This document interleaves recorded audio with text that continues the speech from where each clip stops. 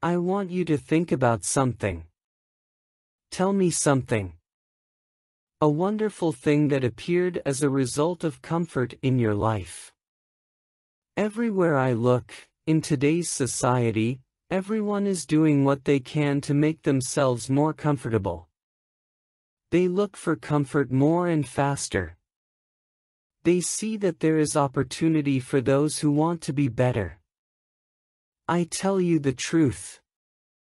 All the great things in my life have come from a place of discomfort.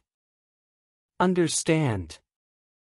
When you try to avoid pain, if you try to avoid the fight, if you try to avoid difficult things, you actively choose to be mediocre in life and you actively choose to walk away from what you want in life.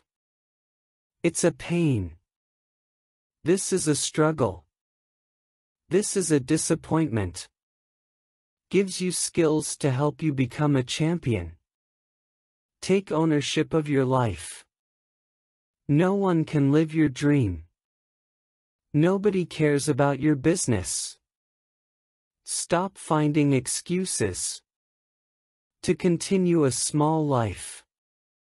You can't fit a big dream into a small life. Give yourself permission. Try yourself. Live the way you want. Always strive to reach the top in this life.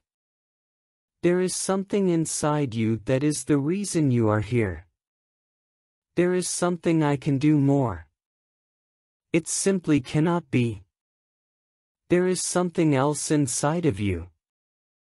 He will always tell you that this is not for you.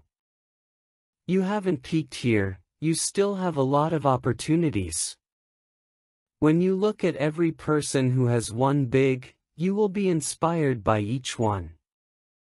They only have one plan.